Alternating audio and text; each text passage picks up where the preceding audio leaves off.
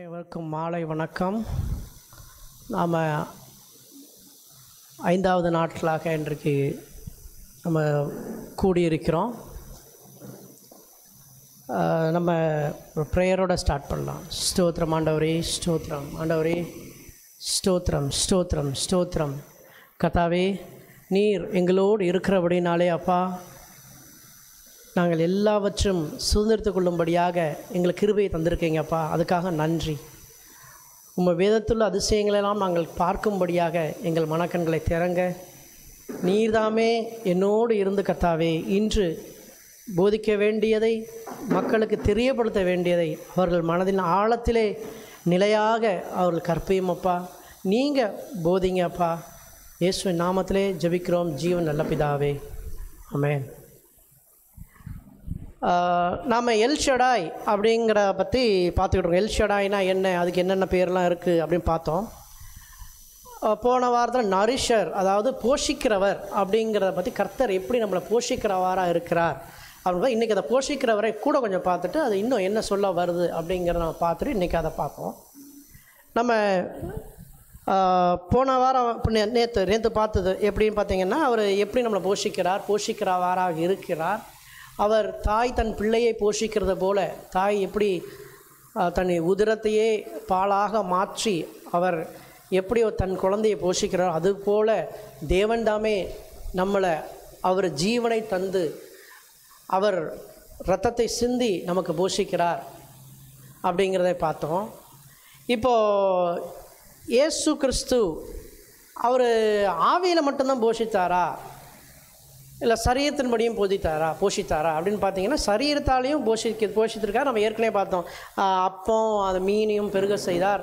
ஆயிரக்கணக்கான மக்களை அவர் வந்து போஷித்து அவர்களை போஷித்து அவர் நல்லா சாப்பாடெலாம் கொடுத்து நல்லா வச்சுருந்தார் அப்படின்னு பார்க்குறோம். இப்போது இந்த போஷிப்பு அப்படிங்கிறது வந்து அவர் வெறுமனே என்ன சொல்கிறதுனாக்கா அவரோட மினிஸ்ட்ரி அவருடைய குணமாக்கும் மினிஸ்ட்ரியில் இது மட்டுமே இல்லாமல் அதில் அவர் முக்கியமாக என்ன பார்க்குறாரு பார்த்தீங்கன்னா சரீர பிரகாரமாக அவர் போஷித்து வந்துக்கிட்டு இருக்கார். எப்படி அப்படி பார்த்தீங்கன்னாக்கா இன்னும் இந்த அவருடைய டிசைபிள்ஸ் அவருடைய சீடர்கள் எல்லாம் உலகம் ஃபுல்லாக இஸ்ரேவேல் இங்கே மாதிரி இடங்கள்லாம் போய் அவங்க வந்து சுவிசேஷத்தை பரப்பிட்டு வர்றாங்க. அப்போ அவர் என்ன சொல்கிறாரு அப்படின்னு பார்த்தீங்கன்னா வாங்க வந்து ரெஸ்ட் எடுங்க. நீங்கள் அலைந்து திரிந்து வந்திருக்கிறீங்க. மார்க்கு ஆறு முப்பத்தி ஒன்று. அவர் அலைந்து திருந்து வந்திருக்கிறீங்க. நீங்கள் வாங்க வந்து தனியாக போய் ஒரு இடத்துல இருந்து முதல்ல ரெஸ்ட் எடுங்க நல்லா சாப்பிட்டுட்டு இருங்க. ஏன்னா இந்த இடத்துலலாம் பார்த்தீங்கன்னா எல்லாரும் ஆட்கள்லாம் நிறையா இருக்கிறாங்க. நீங்கள் வந்து சாப்பிட்டு திருப்தியாக ரெஸ்ட் எடுங்க அப்படிங்கிறார். அந்த ரெஸ்ட் அப்படிங்கிறத பார்த்தீங்கன்னாக்கா கர்த்தர் வந்து முதல்ல யாரையுமே அப்படி ரெஸ்ட் இல்லாமல் ஓய்வு இல்லாமல் வேலை செய்யுங்க. நீங்கள் வேலை செஞ்சிட்டே இருக்கணும். அப்படின்னு சொல்லலை. நீங்கள் வந்து ரெஸ்ட் எடுங்க. சரீரத்தை போஷிக்கணும் அப்படிங்கிறார். அந்த வசனத்தை படிச்சிருவோம். மார்க் ஆறு முப்பத்தி ஒன்று அவர் அவர்களை நோக்கி வனாந்தரமான ஒரு இடத்திலே தனித்து சற்றே இலைப்பாரும்படி போவும் வாருங்கள் என்றார். ஏனெனில் வருகிறவர்களும் போகிறவர்களும் அநேகராய் இருந்தபடியினால் போஜனம் பண்ணுகிறதற்கும் அவர்களுக்கு சமயமில்லா இருந்தது அப்போ என்ன சொல்கிறாரு பார்த்தீங்கன்னா போஜனம் பண்ணுறதுக்குள்ள சமயம் இல்லாத அளவுக்கு ஓடிக்கிட்டே இருக்கிறாங்க. இந்த ஊழியத்தை பார்க்குறது ஊழியத்தை செய்கிறது ஊழியத்தை மூலியமாக பிரசங்கிக்கிறது இதெல்லாம் பார்த்துக்கிட்டே இருக்காங்க. ஓய்வு இல்லாமல் இருக்காங்க கர்த்தர் என்ன சொல்கிறாரு வந்து வாங்கப்பா நம்ம போய் தனியாக தனியாக போயிடுவோம் இங்கெல்லாம் இருந்தாக்கா சாப்பிட முடியாது இருக்கோம்னா ஆட்கள் நிறையா இருக்கிறாங்க. நம்ம போய் தனியாக உட்காந்து நம்ம ரெஸ்ட் எடுங்க ஃபஸ்ட்டு ரெஸ்ட் எடுங்க. அப்படின்னு சொல்லி அவரை வந்து போஷிக்கிறார். கர்த்தர் போஷித்து கொண்டிருக்கார். இப்போது இதில் பார்த்தீங்கன்னா ஓய்வில்லாமல் ஓய்வு இல்லாமல் வேலை செய்யுங்க. எப்போ பார்த்தாலும் வேலைஞ்சிட்டே இருங்க அப்படின்னு அவர் சொல்லலை. முதல் வேலை உடம்பை எப்படி பார்த்துக்கணும்? உடம்பை போஷிக்க வேண்டும். உடம்பை இப்படி நீங்கள் தேவையில்லா கவலைப்பட்டுட்டு இது இல்லாமல் இருந்துட்டு நீங்கள் ரெஸ்ட் எடுத்து பொறுமையாக நீங்கள் இருந்து நீங்கள் ஓடி ஓடி கர்த்தர் வேலை செய்யணும்னு சொன்னாக்கா நீங்கள் வேலை செஞ்சு ரத்தத்தை சிந்தி வேர்வையை சிந்தி வேலை செஞ்சு கடைசியில் முடியாத அளவுக்கு போய் டொம்முன்னு கீழே விழுது விருப்பம் கிடையாது. அவர் ரெஸ்ட் எடுங்க நிதானமாக இருங்க பொறுமையாக இருங்க. அப்படின்னு சொல்லி அவங்க வந்து ரெஸ்ட் எடுக்க வைக்கிறார். அதன் மூலியமாக அவர் உடம்பை போஷிக்கிறார். உடலை போஷிக்க வைக்கிறார். இப்போ இந்த ரெஸ்ட்டு இப்போ இந்த இந்த காலகட்டத்தில் பார்த்திங்கன்னா எப்படி இந்த இந்த ரெஸ்டாகிய போஷிப்பு எப்படி இப்போ இந்த நம்ம இப்போ லென்த்து நாட்களில் குறிப்பாக சொல்லணும் நம்ம வந்து கிறிஸ்துவோட வார்த்தைகளை நம்ம நிறையா நம்ம சிந்திக்கிறோம் பேசுகின்றோம் மெடிடேட் பண்ணுறோம் இதெல்லாம் பார்த்தீங்கன்னா இந்த இடத்துல என்ன பார்த்தீங்கன்னா இந்த ப்ரேயர் மீட்டிங் எல்லாம் எதுக்கு நடத்தணும் அப்படின்னு பார்த்தீங்கன்னா நம்மை நாமே போஷித்துக் கொள்வதற்காக. நம்ம உடலால் நம்ம வந்து சில விஷயங்கள் நம்ம செய்கிறோம் அதன் மூலியம் உடம்புல ரெஸ்ட் எடுக்கணும். நிறைய விஷயம் பார்த்தீங்கன்னா ரெஸ்ட் எடுக்கணும். நம்ம சில நிறைய சாப்பிடாம இருக்கிறது மூலியமாகவும் நம்ம உடலுக்கும் கொஞ்சம் ரெஸ்ட் விடும். இதுக்கு முன்னாடி பார்த்தீங்கன்னா பிரியாணி எடுத்தோம்னா மொத்த மொத்தமாக அப்பணம் போட்டு சிக்கன் ஒரு முழு சிக்கனை கூட சாப்பிட்ருக்குறோம் ஆனால் இப்போ பார்த்தீங்கன்னா கொஞ்சம் ஃபாஸ்டிங் அது ஃபாஸ்டிங் இருந்தால் தான் இருக்கும் கிடையாது. ஆனால் அது சரீரத்துக்கு ஒரு ரெஸ்ட்டு கொடுக்குறோம். நம்ம உடம்புக்கு ஒரு ரெஸ்ட்டு கொடுக்குறோம். அதன் மூலியமாக என்ன ஆகுது நம்ம பாடியும் கொஞ்சம் ஃப்ரீயாக வேலை செய்ய ஆரம்பிக்குது. பார்த்தீங்கன்னா நம்ம ரொம்ப காரமாக சாப்பிட்டோன்னா வயிறு ஒத்துக்கிறது இல்லை நமக்கு. அப்போ அந்த நேரத்தில் பார்த்தீங்கன்னா நம்ம ப்ரேயர் பண்ணணும்னு பார்த்தீங்கன்னா வயிறு அப்படியே கப கப்ப கப்பன்னு எரியுது. நம்ம ப்ரேயர் கூட ஒழுங்காக பண்ண முடியாமல் போயிடுது. அப்போ இந்த மாதிரி அது மெயினாக நம்ம சில விஷயங்கள் நம்ம இப்போ வேண்டாம் அப்படி ஒதுக்கிறது முக்கியமான காரணம் என்ன பார்த்திங்கன்னா இன்னும் அதிக அதிகமாக கர்த்தரிடம் பேசுவதற்கு கர்த்தரோட வார்த்தையை நம்ம தெரிந்து கொள்வதற்கு நம்ம அதன் மூலியமாக நம்ம உடம்பை போஷிக்கிறோம். நம்ம உடம்பையும் போஷிக்கிறோம் நம்ம மைண்டு நம்மளோட சிந்தையில் நல்ல வார்த்தைகளை ஏற்றுறோம் இன்னும் அதிக அதிகமாக நம்ம சிந்திக்க உதவுது. இன்னும் அதிக அதிகமாக சிந்தித்து நம்ம இன்னும் அதிகமாக பண்ணும்போது என்ன ஆகுதுன்னு பார்த்தீங்கன்னா நம்ம நம்ம ஆவியிலே அவர் வார்த்தையை ஏற்றுகின்றோம். நம்ம இப்போ உள்ளான மனுஷனை நம்ம போஷித்து இருக்கோம். நம்ம உள்ளான மனுஷனை போஷிக்கும் போது பார்த்தீங்கன்னா ஆவி ஆத்மா சரீரம்னு சொல்கிறாங்க இந்த அதை நம்ம தனியாக பார்ப்போம். ஆத்மாவில் ஆத்துமாவில் ஆத்மா அப்படிங்கிறது என்ன பார்த்தீங்கன்னா மைண்ட் நம்ம வெளிப்புறமாக இப்போ நான் நல்ல பேர் வாங்கணும் நல்ல செய்கையில் செய்யணும்.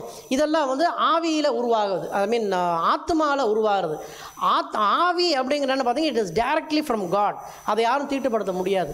அதனால தான் இந்த உலக பிரகாரமான காரியங்கள் அங்கே அது எங்கே மேனிஃபெஸ்ட் ஆகுது அப்படின்னு பார்த்தீங்கன்னா ஆத்மாவில் மேனிஃபெஸ்ட் ஆகுது. அதெல்லாம் ஒரு இடத்துல சொல்லியிருப்பார் ஆவியை ஆத்மாவில் உள்ளதெல்லாம் வெளியே ஊற்றப்படணும் அப்படின்னு சொல்லியிருப்பார். அந்த என்ன அர்த்தம் சொல்கிறேன்னாக்கா நீங்கள் ஆத்மாவில் பார்த்தீங்கன்னா இப்போ உலக பிரகாரமான விஷயங்கள்லாம் ஏறிக்கிட்டு இருக்குது.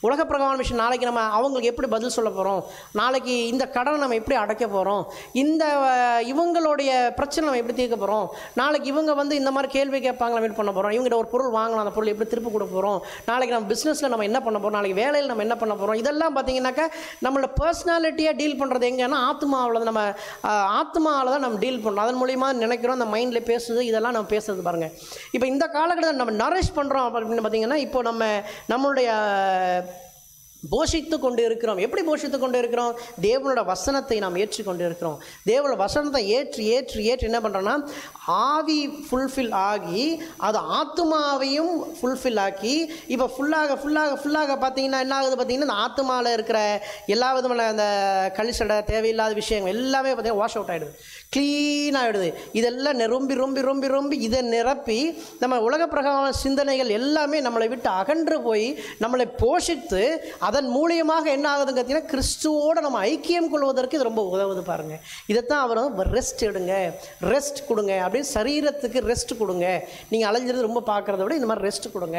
அப்படின்னு கர்த்தர் இதன் மூலியமாக சொல்லுகிறார். அடுத்து இப்போ இந்த ரெஸ்ட் கொடுக்கல அல்லது இந்த போஷிப்பு நம்ம இந்த உடம்புக்கு போஷிப்பு கொடுக்கல இந்த போஷிப்பு நம்ம கொடுக்காம நம்ம உடம்புக்கோ இல்லை உடம்பு உடல் எடுத்துக்கிறத விட பொதுவான விஷயங்களில் நம்ம ஆத்மா நம்ம சரீரம் நம்மளுடைய ஊக்கம் எல்லாவற்றையும் நம்ம போஷிப்பை கொடுக்கல அப்படின்னா என்ன ஆகும் அப்படின்னு பார்த்தீங்கன்னாக்க எல்லாமே வந்து உலர்ந்து போகுது வாடி போகுது.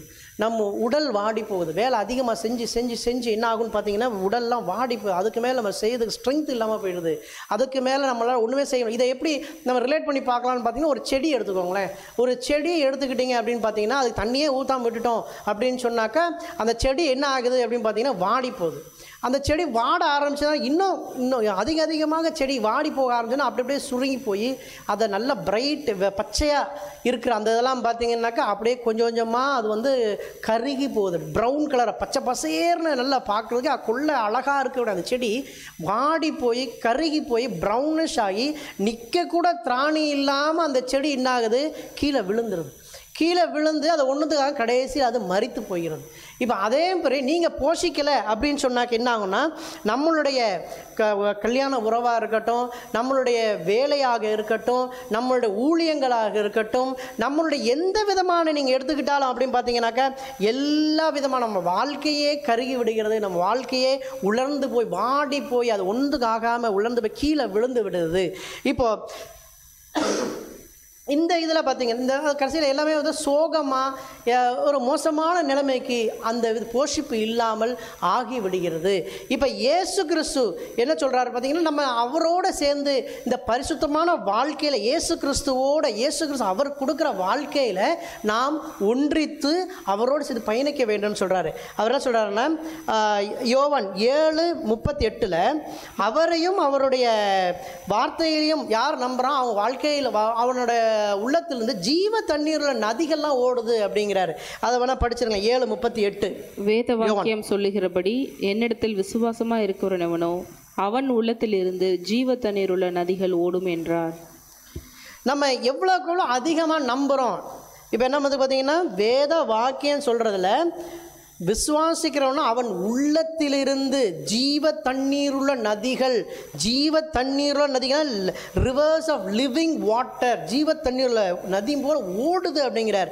இப்போ நம்ம எவ்வளவுக்கு எவ்வளோ நம்புகிறோம் அப்படிமோ நம்ம எவ்வளோக்கு எவ்வளோ விசுவாசத்தில் உறுதியாக இருக்கிறோமோ அவ்வளவுக்கு அவ்வளவு நம்ம வந்து இயேசுவை நம்ம போஷிக்கிறவராக ஏற்றுக்கொள்கிறோம். இயேசு வந்து நம்மளை வாழ்க்கையின் அவர் என்ன சொல்கிறோம் நம்ம அப்பனை ஜீவனில் அப்பமாக இருக்கிறார் அவர் இஸ் லிவிங் பிரெட் அப்படின்னு சொல்லி வாழ்க்கைக்கெலாம் அவர் அப்பமாக இருக்கிறார் உணவாக இருக்கிறார். அவர் ஜீவ தண்ணீர் நதியாக இருக்கிறார். அந்த நதி ஓட ஆரம்பிக்க அந்த ஜீவ தண்ணீர் உள்ள நதி நம்ம இப்போ என்ன சொல்கிறது உள்ளத்திலிருந்து ஜீவ தண்ணீர் நதிகள் ஓடும். அந்த ஜீவ தண்ணீர் நதி எவ்வளவுக்கு எவ்வளோ அதிகமாக ஓடுதோ அவ்வளோக்கு நமக்கு பலம் கிடைக்குது. அவ்வளோக்கு நம்ம வாழ்க்கை கனி தரக்கூடிய ஒரு விஷயமாக நம் வாழ்க்கை மாறுது. நம்ம ஜீவனுள்ள தண்ணி அந்த ஜீவ நதி நம்ம உடம்புலேருந்து ஓடணும் அப்படின்னு சொன்னாக்கா என்ன ஆகுது அவன் உள்ளத்தில் வலியுது அப்படின்னு சொன்னாக்க இப்போ விசுவாசிக்கிறத? கர்த்தரை விசுவாசிக்கிறவன்ட்ட இருந்து அப்போ அதிக அதிகமாக விசுவாசிக்கும் அதிக அதிகமாக தெரிந்து கொள்கிறோம். அதிக அதிகமாக தெரிந்து கொள்ளும் ஜீவத்தின் நதி பெருக்கெடுத்து ஓடுது. நதி நீங்கள் விசுவாசிக்கிற அளவு பார்த்தீங்கன்னா கொஞ்சமாக விசுவாசிக்கும் பார்த்தீங்கன்னா கொஞ்சமாக நதி மாதிரி ஓடி கொஞ்சம் கொஞ்சமாக ஒரு ஸ்ப்ரிங் ஒரு சில ட்ராப் ஆஃப் வாட்டர்ஸ் மாதிரி ஓடுது. அடுத்து இன்னும் கொஞ்சம் அதிகமாக பார்த்தீங்கன்னா அதுக்கடுத்து பார்த்தீங்கன்னா குற்றாலம் போயிருந்தீங்கன்னா தெரியும். ஒரு சில நேரம் பார்த்தீங்கன்னா டப்பா டப்பா டப்பா டப்பான்னு விழுகும். உள்ளே விட மாட்டாங்க. அதில் நீங்கள் சும்மா மீடியமாக விழுகும் உள்ளே பார்த்தீங்கன்னா நம்ம முதுகெலாம் அடிக்கிறத விட பாறையில் தண்ணி விழுகிற மாதிரி இருக்கும்.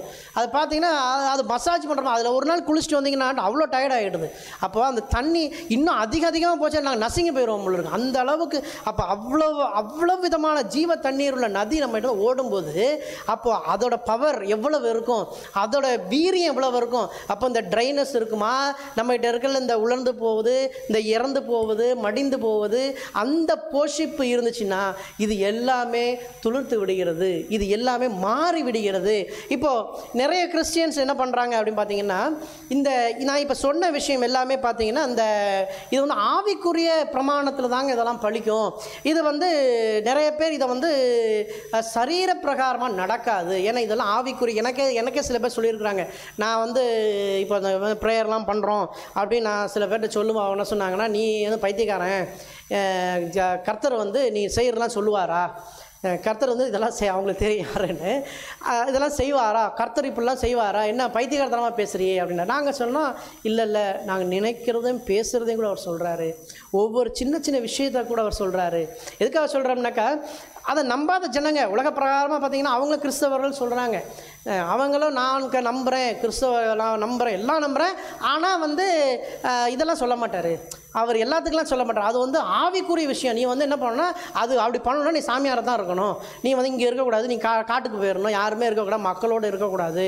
இது வந்து ஆவிக்குரிய விஷயம் அதெல்லாம் அதனால் நீ வந்து இதெல்லாம் பண்ணால் வேலைக்கு ஆகாது. உன்னை வந்து பிரெயின் வாஷ் பண்ணிட்டாங்க.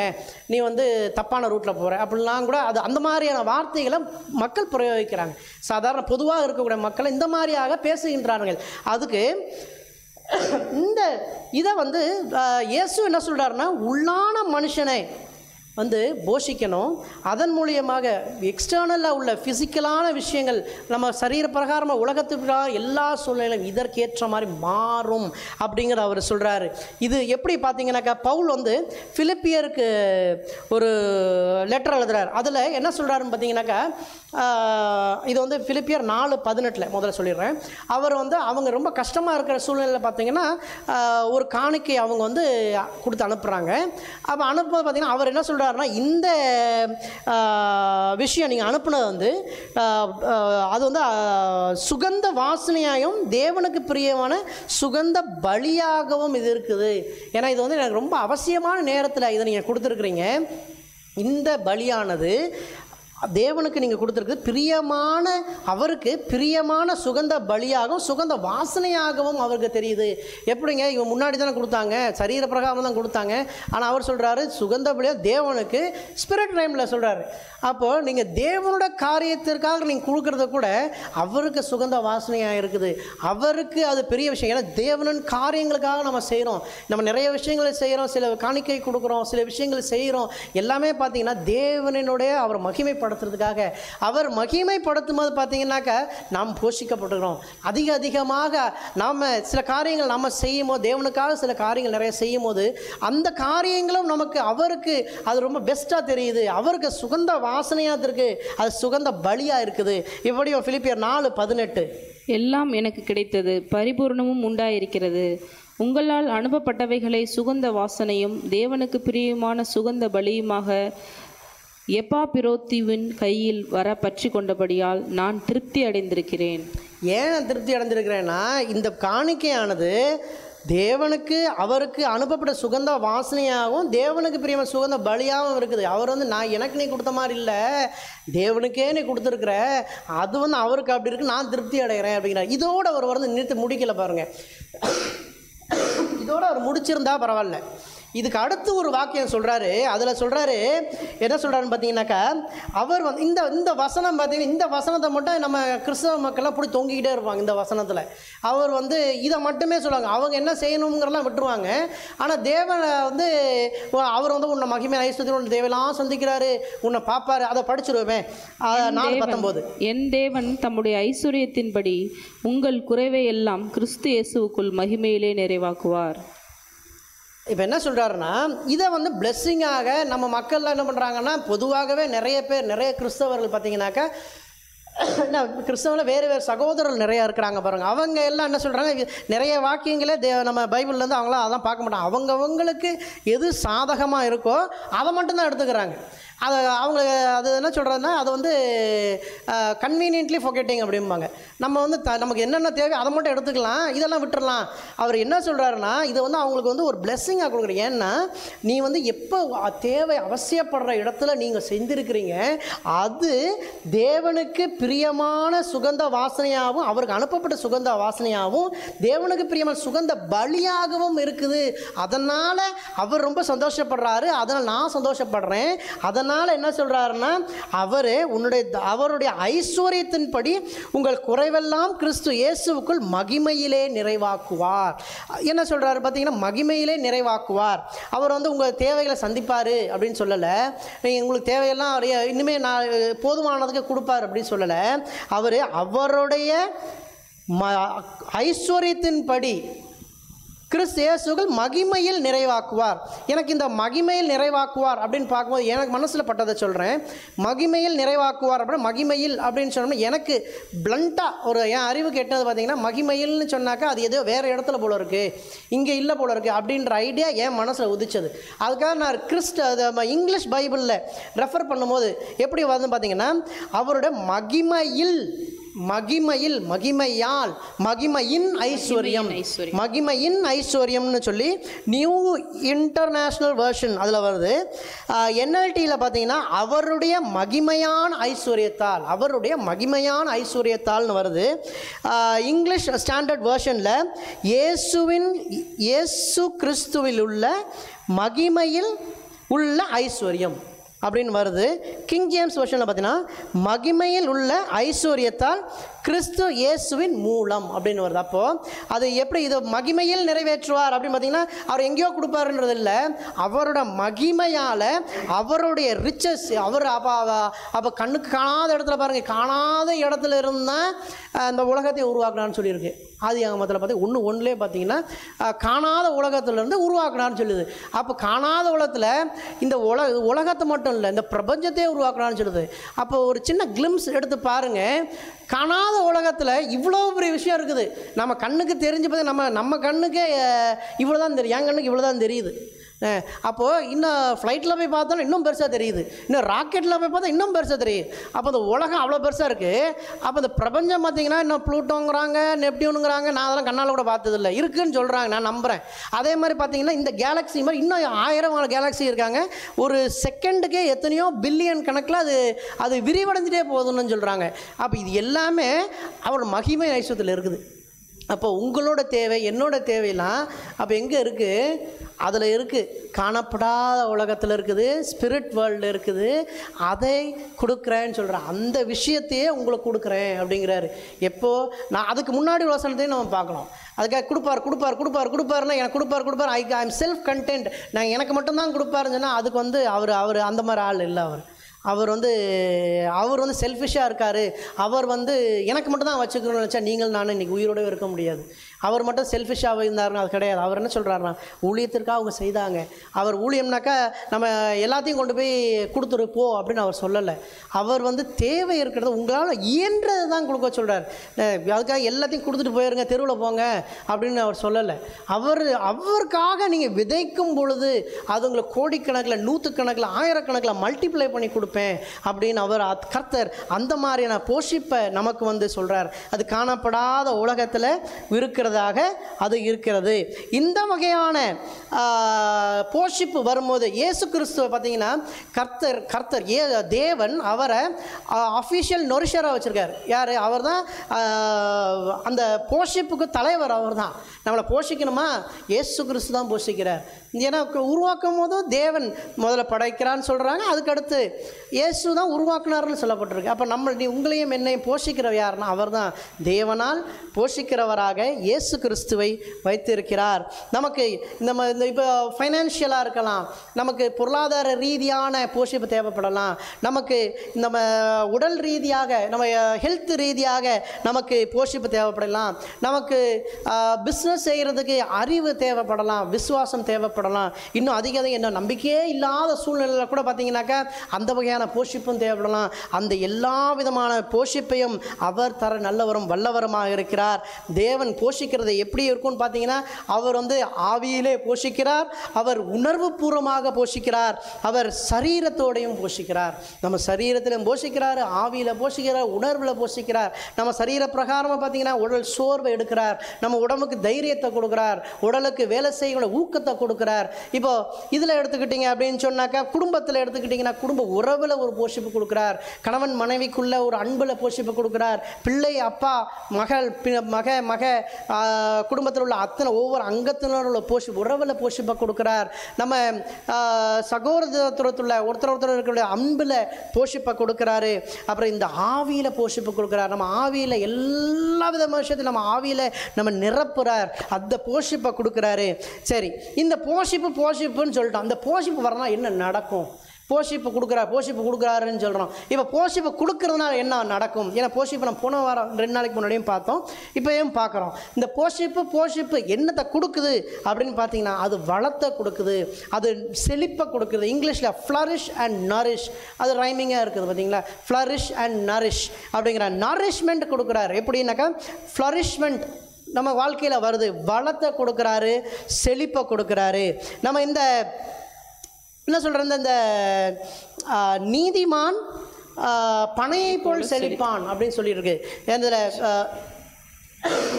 சங்கீதம் ஒன்பது தொண்ணூற்றி ரெண்டு பன்னெண்டில். பனையைப் போல செழித்து லீபனோனில் உள்ள கேதுருவைப் போல வளருவான். கர்த்தருடைய ஆலயத்தில் நாட்டப்பட்டவர்கள்.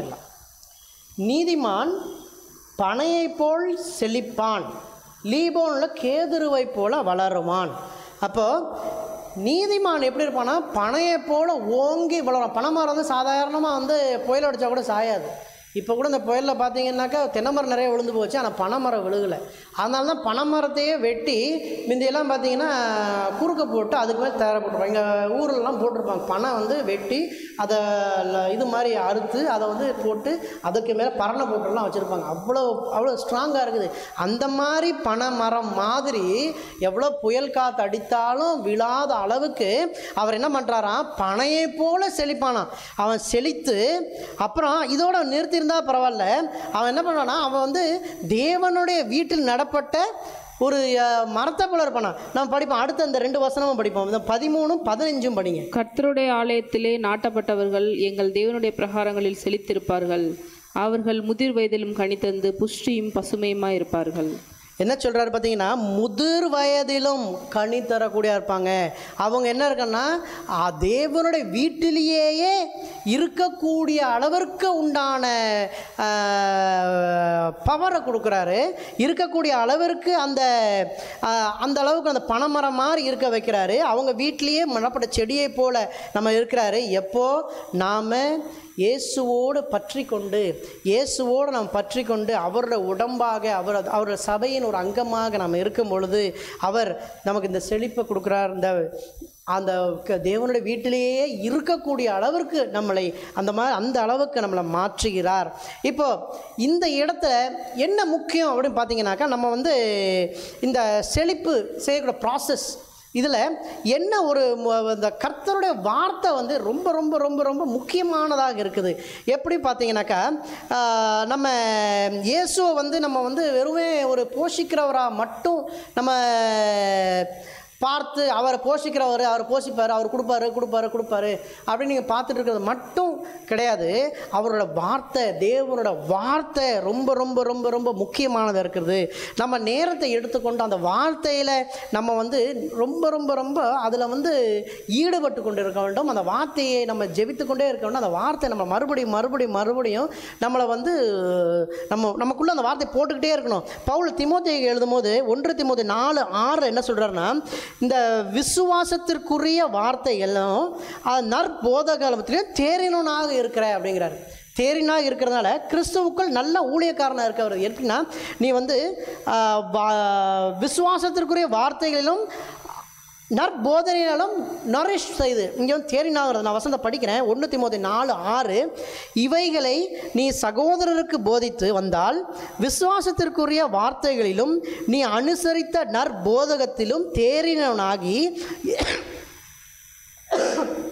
இயேசு கிறிஸ்துவுக்கு நல் ஊழியக்காரராய் இருப்பாய் இந்த தேறினவனாகி அப்படின்னு இங்கிலீஷில் நரிஷ்ட் நீ எதால் நீ நரிஷ் செய்யப்பட்டிருக்க நீ எதால் போஷிக்கப்பட்டு இருக்கிற அப்படின்னாக்கா விசுவாசத்திற்குற வார்த்தையும் நல்ல போதனையிலும் நீ வந்து என்ன பண்ணியிருக்கிற? நீ வந்து நரிஷ் ஆகிருக்க நீ தேறி இருக்கிற அதனால் கிறிஸ்து இயேசுவுக்குள் நீ ஒரு நல்ல ஊழியக்காரனாக இருக்கிற. அப்போது ஒரு இயேசுவோட விசுவாசத்தில் மட்டும் இருந்தால் பத்தாது. நம்ம வேதாகமத்தில் சொல்ல வார்த்தையிலும் நாம் சேர்ந்து இருக்கணும் நம்ம வார்த்தையிலையும் சேர்ந்து இருக்கும் பொழுது மட்டும்தான் நமக்கு அந்த ஊட்டம் கிடைக்கிறது. யோவான் பதினைந்து ஏழு. நீங்கள் என்னிலும் என் வார்த்தைகள் உங்களிலும் நிலைத்திருந்தால் நீங்கள் கேட்டுக்கொள்வது எதுவோ அது உங்களுக்கு செய்யப்படும். நீங்கள் எண்ணிலும் என் வார்த்தை உங்களிலும் இது ரெண்டும் பிரிக்க முடியாது பாருங்க. அது எப்போ உங்களுடைய நீங்கள் அவர்கிட்ட இருக்கணும் அவரோட ஒட்டி உறவாடி அவரை பின்பற்றி ஒத்து போய் உறுதியாக அவரோடு நிலைத்து இருக்கும் பொழுது நிலைத்து இருந்தால் மட்டும் பத்தாது. அந்த வார்த்தை நம்மளும் இருக்க வேண்டும். அந்த வார்த்தை உங்களும் நிலைத்திருந்தால் நீங்கள் கேட்டுக்கு எதுவாக இருந்தாலும் நடக்கும். நீங்கள் கேட்ட எல்லா விஷயமும் நடக்கும். அந்த ஊட்டம் அந்த இயேசு கிறிஸ்து கொடுக்குற அந்த ஊட்டத்தை நாம் எடுத்துக்கணும் பாருங்கள் அந்த ஊட்டத்தை நம்ம எடுத்துக்கணும். அதுலேருந்து நம்ம ஜீவனை எடுத்துக்கொள்ள வேண்டும். அந்த ஜீவனை இருக்கும்போது தான் நம்ம எல்லாவற்றிலும் வளமும் செழிப்புமாக இருக்கிறோம். இப்போ இன்னொரு விஷயம் பார்த்தீங்கன்னா இங்கே இடத்துல இப்போ இந்த காலகட்டத்தில் நிறைய நம்ம ஃபாஸ்டிங்லாம் இருக்கிறோம். ஃபாஸ்டிங் இருக்கிறோம். அப்போது நம்ம அந்த நேரத்தில் பார்த்திங்கன்னா உடம்பு ரொம்ப டயர்டாக இருக்கும். ரொம்ப டயர்டாக இருக்குது. அதான் எல்லாம் முடிச்சுட்டு நீங்கள் நீங்கள் சாப்பிட்டு பாருங்களேன் எப்படி இருக்குன்னு. புது தெம்பு வரும்.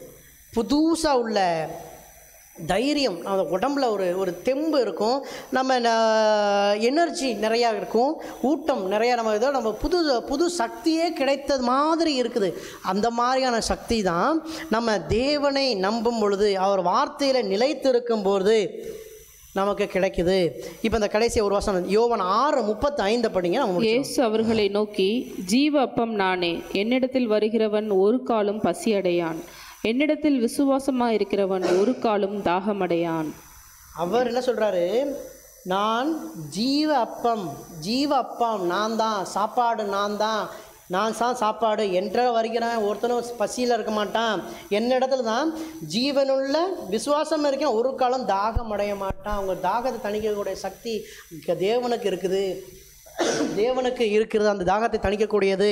எப்படி பசியோடு இருந்து ரொம்ப சோர்ந்து போய் இருக்கிற போது பட்டினி பசியில் இருக்கக்கூடியவனுக்கு ஒருவேளை சோறு கொடுக்கும்போது அவனுக்கு எவ்வளோ எந்த அளவுக்கு தைரியம் வருதுன்னு பார்த்தீங்கன்னா துவண்டு போய் நான் வாழ்க்கையில் முடிவு எல்லாமே முடிந்து போனது அப்படின்னு நினைக்கக்கூடிய மனுஷனுக்கு இந்த தேவ வார்த்தை வரும்போது அந்த தேவன் ஜீவ அப்பன் அப்பமாக இருக்கிறார். அவன் வாழ்க்கையில் எல்லாமே தோண்டு போச்சு. அவன் வாழ்க்கையில் எல்லாமே கருகி போச்சு. இனிமே அவனுக்கு ஹோப்பே இல்லை கடன் பிரச்சனை தொழில் பிரச்சனை வேலை இல்லாமல் போயிடுச்சு. உள்ள இந்த சொல்ல இந்த இப்போ பார்த்தீங்கன்னா தேவையில்லாமல் நிறைய கலவரங்களை உண்டு பண்ண பார்க்குறாங்க யுத்தங்களை உண்டு பண்ண பார்க்குறாங்க நாட்டுக்கு நாடு யுத்தங்கள் வர பார்க்குது அது பட்டினியும் பசியும் உண்டாக்க பார்க்குறாங்க. இந்த விஷயமே பார்த்தீங்கன்னா உலக பிரகாரம் சாத்தானே என்ன பண்ணுறான்னா இந்த பணம் சம்பாதிக்க வேண்டும்ன்ற பேராசையில் என்ன பார்த்தீங்கன்னா அவங்களே நிறைய பட்டினியமும் நிறையா பஞ்சத்தையும் உருவாக்குறாங்க. அது நிறைய யுத்தங்களையும் உருவாக்குறாங்க. ஏன்னா யுத்தங்கள் நிறைய ஆக ஆக அவங்களால அந்த இந்த பட்டாசுன்னு சொல்லக்கூடிய இதுன்னு சொல்ல அந்த ஆயுதங்கள் இந்த பாம் குண்டு அணுகுண்டு இதெல்லாம் அவங்க வந்து நிறைய வியாபாரம் பண்ண முடியும் பாருங்கள் அதனால நிறைய கவர்மெண்ட்டே பார்த்தீங்கன்னா பார்த்தீங்கன்னாக்கா ஆயுதங்களை விற்பனை பண்ணுறதுக்காகவே டெரரிஸ்ட்டை வளர்த்து விடுறதாக கூட சொல்கிறாங்க அந்த மாதிரி எதுக்காக அப்படி பார்த்தீங்கன்னா அந்த பணத்தை சம்பாதிக்கிறதுக்காக. அந்த மாதிரி இடங்கள்லாம் பார்த்தீங்கன்னாக்கா அவ்வளோ மோசமாக இருக்கிற சூழ்நிலை கூட இந்த மாதிரியாக அவர் அந்த இடத்துலையும் இவர் போஷிக்கிறவராக இருக்கிறார். அந்த பட்டினியும் பசியிலும் இருக்கக்கூடிய ஒருத்தனுக்கு ஒருவேளை சோறு கொடுத்தோம்னா அவனுக்கு எந்த அளவுக்கு தைரியம் எந்த அளவுக்கு அவன் ஊட்டம் இருக்குமோ அந்த மாதிரி தாகத்தோடு இருக்கிறவன் அவர் தண்ணீர் தராரு. அவர் பசியோடு இருக்கிறவனுக்கு அவர் உணவை தர்றாரு அந்த சாப்பாடை சாப்பிட்டவனுக்கு ஒரு காலம் பசியே வராது. அந்த தாகத்தில் இருக்கிறவனுக்கு ஒரு காலம் திருப்பி தாகமே எடுக்காது. அந்த மாதிரி தாகத்தை கொடுத்து நமக்கு போஷித்து நம்மளை செழி செழிப்பாக மாற்றி இந்த செழிப்பை பாருங்கள் யாரும் எடுத்துக்க முடியாது நம்மக்கிட்ட இருந்து. இந்த செழிப்பை யார் நம்ம பின்ப எடுத்து போக முடியாது. அதுக்கு என்ன பண்ணணும்னா நம்ம வந்து நிறைய வார்த்தைகளை கேட்டு கேட்டு கேட்டு கேட்டு அந்த வார்த்தைகள் நமக்குள் போகும் அப்போ தான் நாம் அவரிலும் அந்த வார்த்தை நம்மளிலும் இரண்டு பேரும் பின்னி பிணைந்து இருக்கிறோம். நம்ம நான் நான் ப்ரேயர் பண்ணுறேங்க நான் வந்து ஒரு நாள் ரெண்டு நாள் தான் பார்க்குறேன் அப்படின்றது இந்த நாற்பது நாள்னு கிடையாது. நாற்பது நாள் இன்னும் சொல்ல போனால் எங்களுக்கு ரொம்ப பயன்பட பயன்படாமல் இருக்குது. யாருக்கு உபயோகமாக இருக்குதோ இல்லையோ இல்லை என்ன இருக்கோ இல்லையோ? நாங்கள் வந்து பார்த்திங்கன்னா காலையிலேருந்து சாயங்காலம் இப்போ தியானத்துக்கிட்டு இருக்கோம். எந்த வார்த்தை? இன்றைக்கி என்ன சொல்கிறது எப்படி சொல்கிறது இந்த வார்த்தை இப்படி சொன்னால் நல்லா இருக்குமான்னு பார்த்தீங்கன்னா எல்லாரை விட என்ன சொல்கிறேன் நான் அதிகமாக இந்த வார்த்தையை வந்து டெய்லி எடுத்து பேசும்போது இதே இரவும் பகலும் தியானிக்கிறேன்னு கூட சொல்லலாம். மிச்ச நாள் இருக்கிறத விட இரவும் பகலும் தியானிக்க முடியுது. இது இதோட பெரிய சக்ஸஸாக கூட சொல்லலாம். இந்த இதை தியானிக்கும் பொழுது பார்த்தீங்கன்னாக்கா நம்ம வாழ்க்கையில் ஜீவன் வருது. இன்னும் ஒரு ஒரு எனக்கு ஒரு சத்தியம் மட்டும் தெரியுங்க. என்னென்னா என்னன்னா அப்போ வந்து பார்த்தீங்கன்னாக்கா நம்ம தள்ளி இருக்கிறோம். இன்னும் கொஞ்சம் தள்ளி இருக்கிறோம். இன்னும் அதிகமாக தெரியுது கர்த்தட்ட பக்கத்தில் வரும் இன்னும் அதிகமாக தெரியுது இன்னும் கொஞ்சம் பக்கத்தில் வரும் இன்னும் அதிகமாக போவோம் இன்னும் பக்கத்தில் போகிறோம் பக்கத்தில் பக்கத்தில் பக்கத்தில் போகும்போது அப்பாவை கூட பக்கத்திலே போகும்போது அவர் முதுகில் ஏறி விளையாடலாம். நம்ம பச்சை குதிரை தாண்டி விளையாடலாம். அவரோட கபடி விளையாடலாம். அவரோட நம்ம கூட இருக்கும்போது நம்ம நண்பர்களோட பேசும்போது ஏ வாடா நம்ம இப்படி பண்ணலாம். அங்கே போகலாம் வா இங்கே போகலாம் உனக்கு இது தெரியுமா? அந்த கதை இங்கே இருந்துச்சு. இந்த கதை இங்கே இருந்துச்சு. ஏ உனக்கு சாப்பிடலையா அந்த இந்த இருக்கு பாரு. ஏன் நிறையா இருக்கு பாரு. ஏதாவது சாப்பிட்டுக்கோ. நம்ம அப்போ நம்மளுடைய காரியங்கள்லாம் அவரோட காரியமாயிருது. அவரோட காரியம்லாம் நம்மளோட நம்ம கொடுக்குறது வந்து ஒன்றுமே இல்லை. ஆனால் அவர் கொடுக்க நிறையா இருக்குது அந்த ரத்தத்தின் மூலமாக கொடுத்துருக்குறாரு. அவர் ரத்தம் நம்மளை சுத்திகரித்து இருக்கிறது அந்த மாதிரியான போஷிப்பு நம்ம தருகிற எல் ஷடாய் இருக்கிறார். அந்த எல் ஷடாய் நமக்கு எல்லாத்தையும் நம்மளை போஷித்து நம்மளை வளமாக்குகிறார் நம்மளை செழிப்பாக்குகிறார். இனி உங்கள் வாழ்க்கையிலே உங்களுக்கு வாழ்க்கையில் தோல்வி கிடையாது பாருங்கள் உங்கள் வாழ்க்கையில் எந்த விதமான பயம் கிடையாது பாருங்கள் உங்கள் வாழ்க்கையில் எந்த விதமான கவலை கிடையாது. எல்லா இடத்தையும் கர்த்தர் போஷிக்கிறார். இந்த நிமிடத்திலே கர்த்தர் போஷிக்கும் கர்த்தர் அந்த எல் ஷடாயாகிய கர்த்தர் உங்கள் வாழ்க்கையை தொடுறாரு. அந்த வாழ்க்கையை தொடும் பொழுது நீங்கள் நடக்காத நினைத்த காரியங்கள் நடக்குது. அந்த கடன் பிரச்சனையில் இருக்கக்கூடிய அந்த விஷயம் எல்லாம் அவர் போஷிக்கிறார். அதிசயவிதமாக சந்திக்கிறார். அந்த அதிசயவிதமாக உங்கள் ஹெல்த் ப்ராப்ளத்தை சந்திக்க போகிறாரு அதிசயவிதமாக உங்கள் குடும்பத்தில் பிரச்சனைகள் சந்திக்க போகிறாரு அதிசயவிதம் இது எல்லாத்தையும் அவரோட வார்த்தையில் நீங்கள் மூழ்கி இருக்கும்போது உங்களை அவர் அவரில் உங்களும் நீங்கள் அவரிலும் இருக்கும்போது அந்த வார்த்தைகளாம் நிறைவேறி அந்த எல்லா விதமான ஆவியின் கனிகள் எல்லாம் உங்கள் வாழ்க்கையில் பழிக்க போகிறது. இந்த வாழ்க்கை அவர் போஷித்து உங்களை செழிப்பாக்கி கொண்டிருக்கிறார். இந்த நிமிடமே அது நடந்து கொண்டு இருக்கிறது நீங்கள் மிகப்பெரிய காரியங்களை காணப்போகிறது சிறப்பாக இந்த காலங்கள்லாம் முடியும் போது பார்த்தீங்கன்னா இன்னும் அதிகம் அதிகமாக நீங்கள் அதிசயத்தை காணப்போகிறீங்க நீங்கள் மிக பிரமாண்டமான காரியங்களை பார்ப்பீங்க. இந்த விஷயம்லாம் நடக்குமான்னு நீங்கள் நினைத்த காரியங்களும் நடக்க போகிறது. இயேசுவின் நாமத்தில் ஜெபிக்கிறேன். ஜீவன் நல்ல பிதாவே ஆமென்